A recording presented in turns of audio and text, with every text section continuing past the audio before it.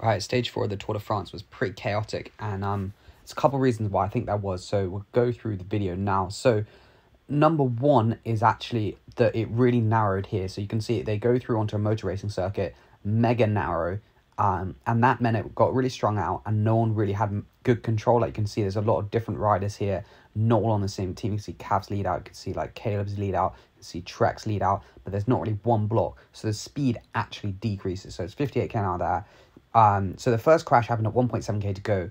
Um, no helicopter sh- shot uh, footage that I could find. It looks like Jakobsen just like hooked his bars here. You can see the way his body is leaning towards uh, what as we look at it our right.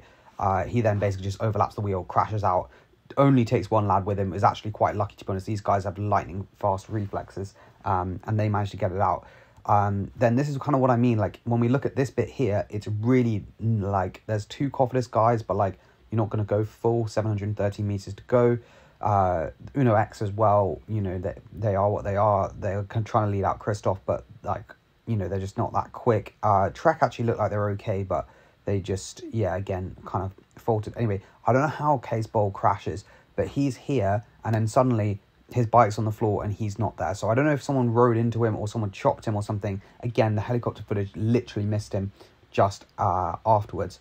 And then the last crash, which I think is even more like stupid, is this straight one. So uh, Wærenskjold has finished his lead out for Kristoff. He then, I don't know if he's trying to like just watch the sprint and be like, oh, I wonder who's winning, or if he's trying to like get involved and like try and put them off Kristoff. But anyway, he's looking right, but as he looked right, quite often this happens, drifts the other way. So he drifts left, and Axel Zungor, I think it is, uh, is behind him. It doesn't help the barriers are not straight. I think this is spectators pushing the barriers, to be honest, which is the reason they're not straight. Because, like, surely when they lay them up, they're not that stupid that they're not that they would be straight. Um, so you can see again here, like the the barriers aren't straight, which I think is a key issue. Um, and then you can see the top of the screen, they're kind of colliding, uh, but we'll show better footage here. And to be fair, like the Cofidis lad Zango almost saves it, like very close to saving it. He like back wheel skids out, and at the end of the day, just lose loses grip. And um, Wærenskjold ate the barriers. Anyway, Philipsen won, no stress. Uh, very easy sprint win for him, to be honest. Um, Cav looked okay. Um, looked good as well. Uh, but Van der Poel is just a cheat code in sprints because he just comes past with so much extra speed and no one can compete with that.